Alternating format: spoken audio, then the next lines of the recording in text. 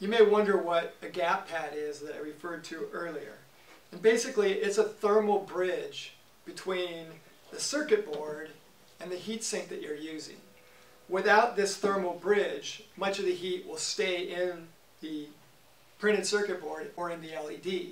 You want to transfer that heat out of the LED into your heatsink and then into the air.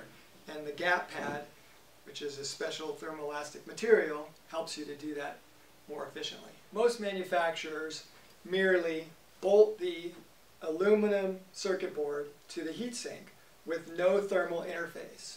Or sometimes they'll use a thermal grease. The problem with thermal grease is it's inconsistent to apply and over time it will dry up and the thermal conductivity will go down. We like to use the gap pad because it provides a consistent thermal transfer between the printed circuit board and the heatsink. Yes, it's more expensive, but it gets us better results. Just like the copper core board is more expensive than an aluminum board, but it gives you better results. I try to design the heatsink to optimize the amount of surface area available for airflow within a given package size. So it's very important to transfer the heat from the LEDs into the heatsink and from the heatsink into the air. And I know that if there's no airflow, for example, it's a stationary application, then the thermal management system with the thermistor will take over to control the temperature of the LED.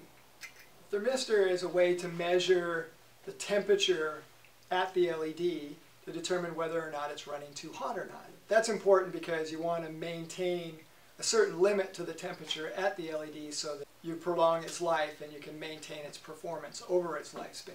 But at the end of the day, what does CopperDrive technology mean to you?